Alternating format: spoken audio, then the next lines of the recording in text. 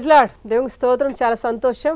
మరొకసారి యేసుక్రీస్తు వారు ఆయన ఉచితమైన కృప చేత మీ మధ్యలోకి నడిపిస్తున్నందుకు యేసుక్రీస్తు వారికి వందనాలు తెలియచేస్తూ మీ అందరికి క్రీస్తున్నందు శుభములు తెలియజేస్తున్నాను హలలుయ దేవుని స్తోత్రం. చాలా సంతోషం. మీరందరూ క్రీస్తులు ఎదుగుతున్నారని నమ్ముతున్నా. పౌలు అంటాడు ఒక మాట. ఏమంటాడంటే వయసును బట్టి చూస్తే మీరు బోధకులై ఉండాలి.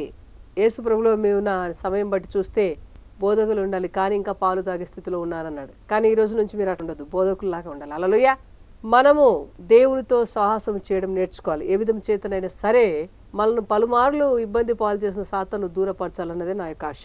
మన అంశం ఈరోజు దేవుడు ఏసేపుకు తోడైండను. కళ్ళు మూసుకొని ప్రార్థన చేసుకుందాం.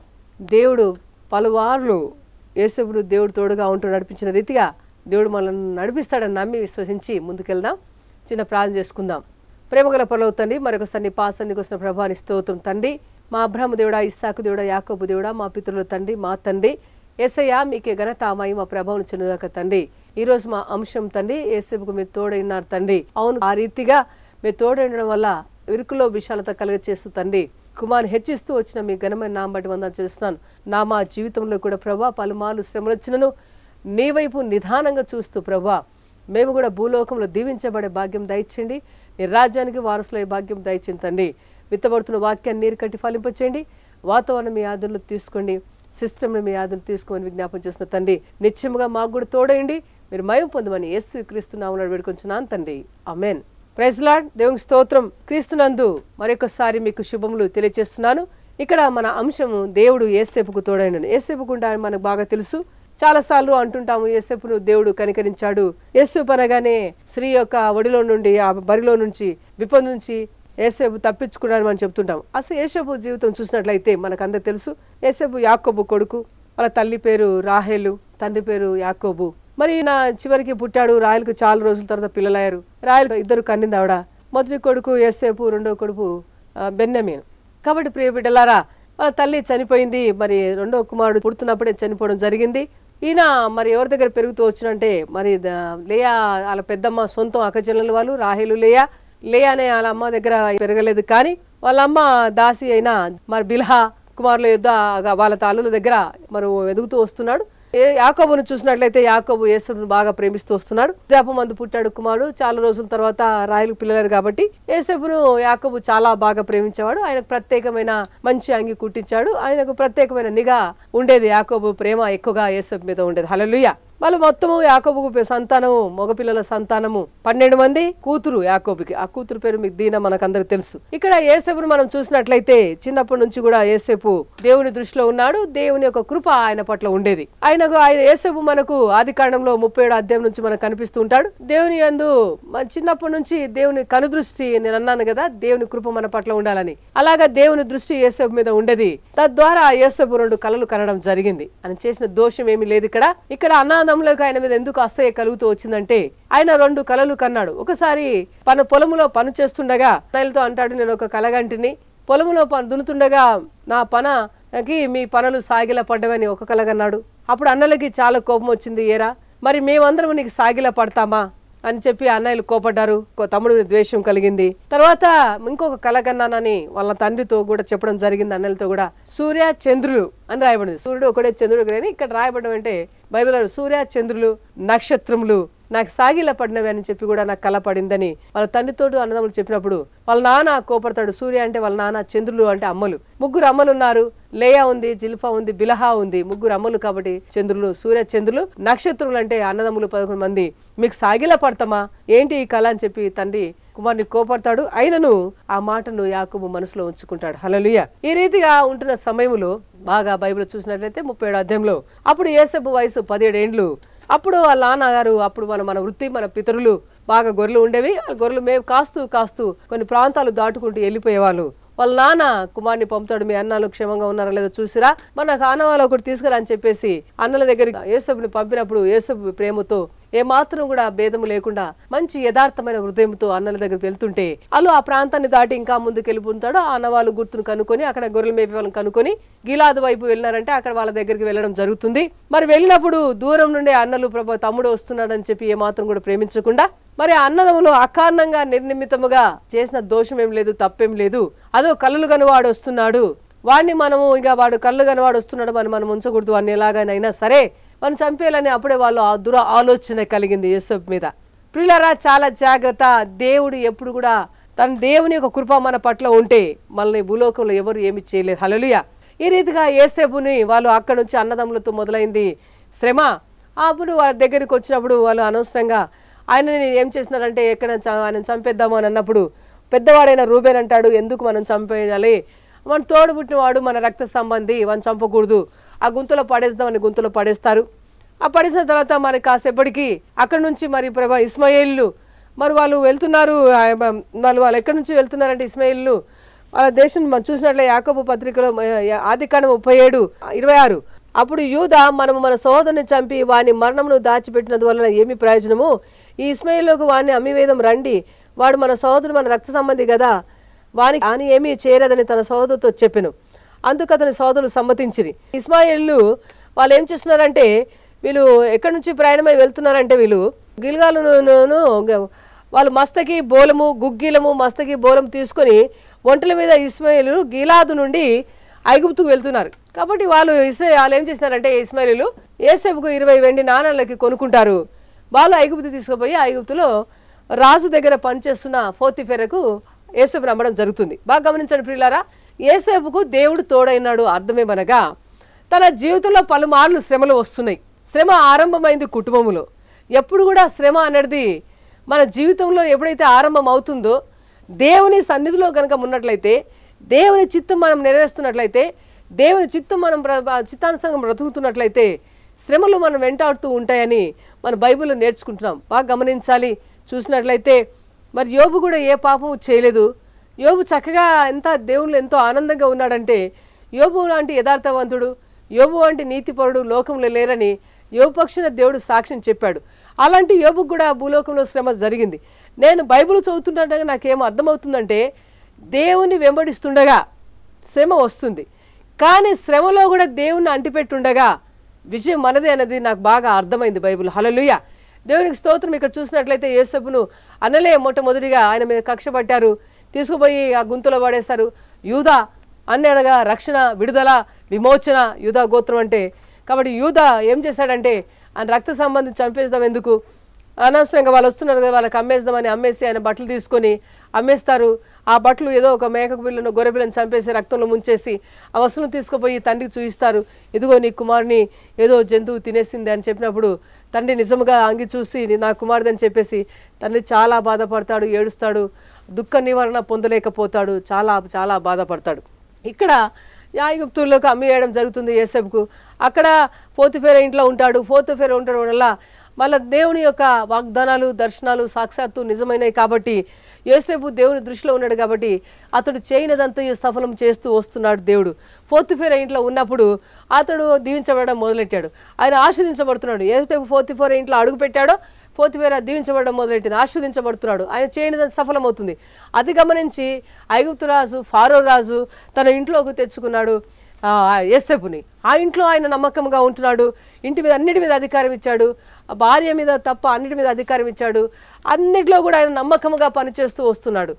శ్రమ వెనుక శ్రమ వెంబడిస్తూ ఉంది యేసపుకి అయినను ఎప్పుడు కూడా ఆయన జీవితంలో గుణగడం సనగడం లేదు.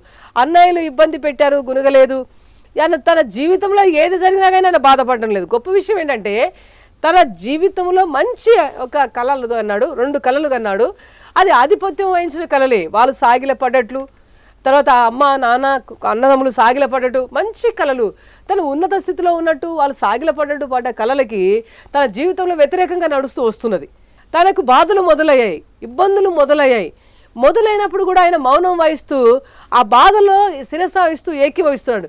ఎప్పుడైతే యథార్థంగా ఉన్న స్థితిని అంగీకరిస్తున్నాడో ఉన్న స్థితిని ఏ ఇబ్బందినైనా ప్రేమిస్తున్నాడో ఆ ఇబ్బందులు దేవుడు అద్భుతాలు చేస్తున్నాడు. అల్లెలుయ్య ఏ స్థితినైతే ప్రేమిస్తున్నాడో గుంతలో పడేసినా ఏకీభవించాడు. ఇస్మాయిల్లోకి అమ్మేసినా ఏకీభవించాడు. ఇస్మాయిల్ తీసుకుపోయి ఫోర్త్ పీరియడ్లో ఇచ్చినా ఏకీభవించాడు. అక్కడి నుంచి తీసుకుని ఫార్మర్స్ ఇంట పెట్టినా ఏకీభవించాడు. ఏ స్థితిలో కూడా గునగలేదు సనగలేదు. పరిస్థితులని సహకరిస్తూ వస్తున్నాడు. దేవుడు అంతకంతకు హెచ్చిస్తూ వస్తున్నాడు. హలల్లుయ్య అలాగా ఫారో రాజు ఇంట్లో ఉంటున్నప్పుడు దేవుడు ఫారో ఇంటిని దీవిస్తూ వస్తున్నాడు. దీవిస్తూ వస్తున్నప్పుడు మళ్ళా అక్కడ సాతను పనిచేయడం మొదలెట్టింది. అక్కడ ఫారోరాజు భార్యనే ఆయనని అనేక రకాలుగా ఇబ్బంది పాలు చేసి తను అనుకున్న పాపాన్ని యోసేపు ద్వారా పొందుకోలేక తిరిగి యోసేపు మీద అబద్ధము మరి నింద మోపడం జరిగింది. దాన్ని కూడా ఏసేపు ఎదురు మాట్లాడలేదు. ఎందుకంటే సమస్తము చూస్తున్న దేవుడికి సమస్తము తెలుసు అని ఒకటి నమ్మినాడు నేను నమ్ముతాను. దేవుడు నా పక్షన ఉంటే ఈ నిందలు ఈ అవమానాలు ఈ బాధలు నన్నేమి చేయవని యేసుపు నమ్మినాడని నమ్ముతున్న. హలలుయ దేవుడు వాగ్దానం ఇచ్చిన నమ్మదగిన వాడు దేవుడు సహాయము చేస్తాడు. ఇంతవరకు కాపాడుతున్న ఉన్న దేవుడు ఆ గుంతులో నుంచి కాపాడిన దేవుడు ఇస్మాయిల్ చేతుల నుంచి కాపాడిన దేవుడు మౌతిపేర నుంచి ఆ ఫార్వాస్ దగ్గర తీసుకొచ్చిన దేవుడు ఇక్కడ ఇబ్బంది కలిగినప్పుడు ఇక్కడ కూడా తప్పిస్తాడని ఒక నిరీక్షణతో బ్రతికాడే కానీ ఏ స్థితిని చూసి కూడా యోసేపు బాధపడలేదు. హలలుయ అప్పుడు సమస్య వచ్చింది. వాళ్ళ భార్య కారణముగా ఆయన మీద నింద మోపింది. ఆ విషయంగా తను చేసిన పాపాన్ని తను ఊహించుకున్న పాపాన్ని తన ఇబ్బంది పాలు చేసినట్టు తన భర్త అయిన ఫారో రాజుతో చెప్పినప్పుడు ఆయన అత్యాగ్రహం పొంది కోపపడి ఎవరైనా సహించలేడు ఆ మాట చెప్తే ఆయన తీసుకుపోయి ఆయన జైల్లో పెట్టడం కూడా జరిగింది. బాగా గమనించాలి ప్రియులారా? ఏ స్థితినైనా మౌనం వహిస్తున్నాడు. దేవుని సన్నిధిని తోడుగా ఉంటుంది. హలలుయ ఆ జైల్లో ఉన్నప్పుడు కూడా జైలు అధికారి ఆయనకు అధికారం ఇచ్చేస్తాడు జైల్లో. హలల్లుయ్య జైలు అధికారి అధికారం ఇచ్చాడు. అక్కడ అందరి బాగోగులు చూసుకుంటున్నాడు. అలాగ కాలం గడుతున్న సమయంలో అక్కడ కూడా దేవుడు ఆయన యో- తోడయ్యున్నాడు తోడై ఉన్నాడు. హాలల్లుయ్య అలాగ జీవిస్తున్న సమయంలో కొన్ని రోజులు ఫారో రోజు దగ్గర తప్పు చేసి ఆ జైలుకు వచ్చిన ఇద్దరు అందులో ఉండడం జరుగుతుంది. పానదాయకుడు భక్ష్యకారుడని ఆరిద్దరూ అక్కడ ఉండడం ద్వారా ఒకరోజు వాళ్ళు కలలు కానీ వాళ్ళు వాళ్ళు నిచారంతో కూర్చున్నప్పుడు ఏసబ్బో వాళ్ళ దగ్గరికి వెళ్ళి మీరు ఎందుకు ఇలాగా రోగము రోగం లేదు. మీకు ఏమీ జ- జబ్బు లేదు. మీ మొఖాలు ఎందుకు అలా వాడిపోయినాయి? మీరు ఎందుకు అలాగా వికారంగా ఉన్నారని చెప్పి ఏసబ్బు వాళ్ళని అడిగినప్పుడు వాళ్ళ వాళ్ళ కళలు వాళ్ళని చెప్పినాడు. వాళ్ళ వాళ్ళ కళల భావం ఏసబ్బు చెప్పడం జరిగింది. హలలుయ్య అప్పుడు పానదాయకుడు చెప్పాడు నీకు మూడు తీగ ఒక ద్రాక్ష వలికి మూడు తీగలంటే మూడు రోజులలో నేను నేను రాసు పిలుస్తాడు. తిరిగి నీ ఉద్యోగం నీకు తిరిగి ఇస్తాడని చెప్పాడు. అక్కడ గంపలు మూడు గంపలు అన్నప్పుడు భక్షకారిని కూడా మళ్ళీ నీకు తెలుసు నీకు మూడు రోజుల తర్వాత పిలుస్తాడు. నీకు మరణశిక్ష దండన వేయడం జరుగుతుంది అని చెప్పడం జరిగింది. ఆ కళల భావం ఎలా చెప్పాడో వాళ్ళకి అలాగే తీర్పు జరిగింది. భక్ష పా- పానదాయకుడికి నీకు మేలు జరిగినప్పుడు నన్ను గుర్తు చేసుకోమని యోసేపు చెప్పాడు. పానదాయకుడు ఫారురాజు దగ్గర మర్చిపోయాడు. ప్రియులారా భావమేమనగా ఏ స్థితిలో ఉన్నా శిరసావించాడు నేను చెప్పేది ఏంటంటే ఇదంతా మనకు అందరికి తెలుసు. చిన్నకున్నప్పుడు నాకు తెలుసు. ప్రతి స్థితిని కూడా ఆయన యథార్థంగా ఆహ్వానించుడు అలలుయ యథార్థవంతులకు దేవుడు సదాకాలము తోడుగా ఉండును. సదాకాలం కూడా దేవుడు ఏసేపుకు తోడుగా ఉంటున్నాడు. ఏ పరిస్థితినైనా ఏసేపు యథార్థంగా అంగీకరిస్తున్నాడు. ఆ సమస్య కానీ బాధే కానీ దుఃఖమే కానీ ప్రతిది కూడా ప్రేమతో దేవుడు ఏది సహ ఏ స్థితిలో ఉంచినా ఆ స్థితిని దాన్ని మన నిర్లక్ష్యం చేయకుండా అంగీకరిస్తున్నాడు ఏసేపు హలలుయ దేవునికి స్తోత్రం ఈ రీతిగా ఉంటున్న సమయంలో మరి కొన్ని గుర్తు చేసుకోమన్నాడు ఆయన మర్చిపోయాడు. కొన్ని రోజులకు రాజుకే కలబడుతుంది. హలల్లుయ. రాజుకే కలబడ్డప్పుడు ఆ కళ కళ రెండుసార్లు ఒకే కళ భావం ఒకటే కళ రెండు రకాలుగా పడింది. అది చాలా కలత చెందిపోయి ఆయన నిద్రపట్టగా ఊర్లో ఉన్న అందరినీ మరి శతాధిపతులు శకునగాండ్రను గారడి వాళ్ళని అందరినీ పిలిపించడం జరుగుతుంది. అందరినీ పిలిపించిన ఎవరు ఆ కలభావం చెప్పలేకపోయారు. అప్పుడు పానదాయకుడు గుర్తొస్తుంది అరే నాకు ఒక ఏసేపు రాజుతో చెప్తాడు రాజా నేను ఈ స్థితిలో నాకు ఇప్పుడు గుర్తొస్తుంది. ఒక ఎబ్రీడని ఉన్నాడు చిన్నవాడు జైల్లో ఉన్నప్పుడు నాకు కలబడుండే. నేను విచారంగా ఉన్నప్పుడు వచ్చి నా దగ్గర కల చెప్పాడు ఆయన ఎట్లా చెప్పిందో అట్లే జరిగింది. ఇలాగే నాకు ఉద్యోగం ఇస్తానన్న మాకు ఉద్యోగం ఇచ్చాడు. ఆయన చనిపోతాడన్న చనిపోయింది. అలాగే జరిగింది రాజా. అంటే వెంటనే రాజు యేసుని పిలిపిస్తాడు.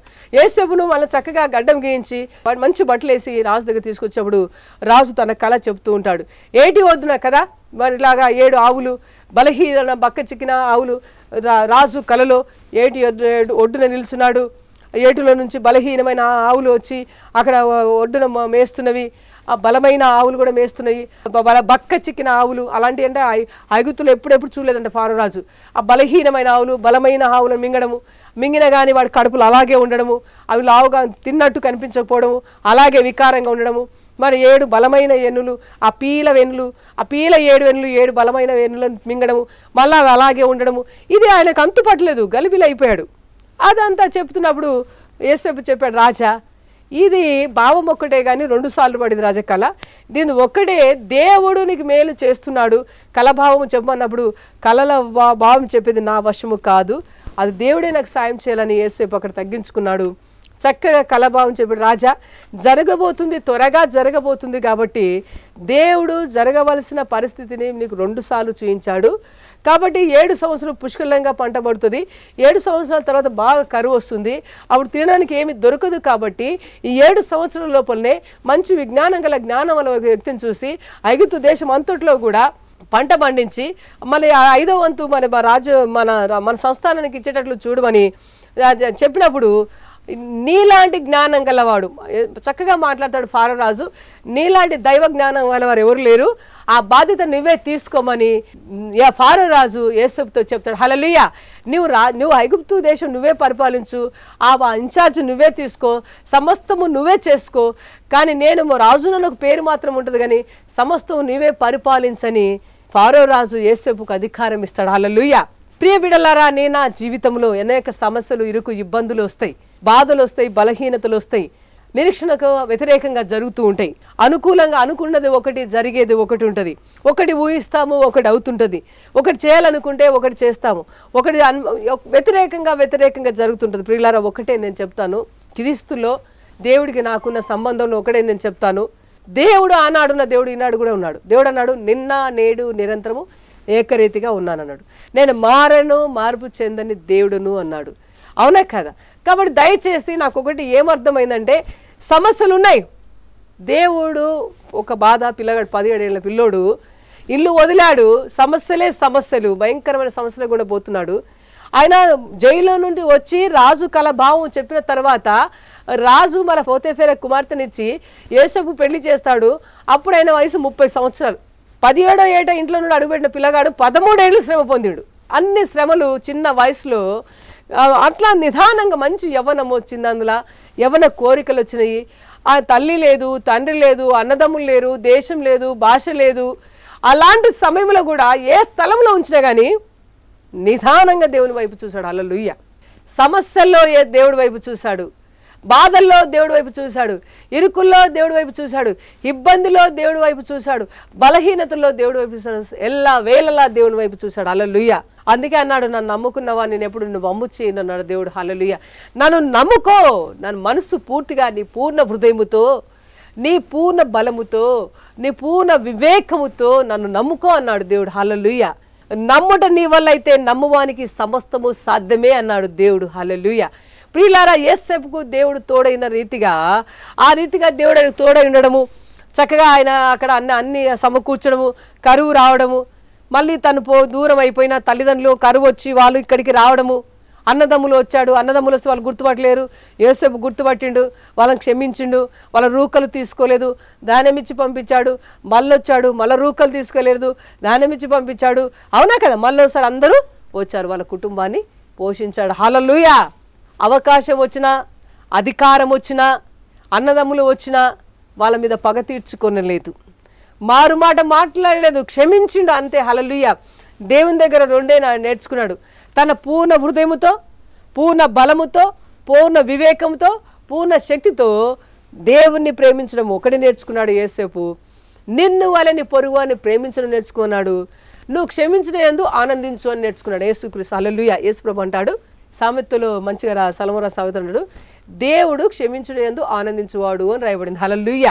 యోసెఫ్ కూడా తండ్రిలాగే తన దేవుని దగ్గర నేర్చుకున్నాడు అన్నదమ్ములను క్షమించడమే నేర్చుకున్నాడు. హల్లెలూయ. పిల్లలారా దేవ్ క్రీస్తున్న బిడ్డలారా నేను ఆశ ఏంటనగా యేసపుతో ఉన్న దేవుడు మనతో ఉన్నాడు. యేసేపుకి అన్ని బాధలు వచ్చినప్పుడు విడుదల కలిగింది అంటే ఎట్లా కలుగుతుంది విడుదల? అన్ని బాధలు వచ్చినప్పుడు ఏసేపుకు విడుదల కదా ఎట్లా కలిగింది.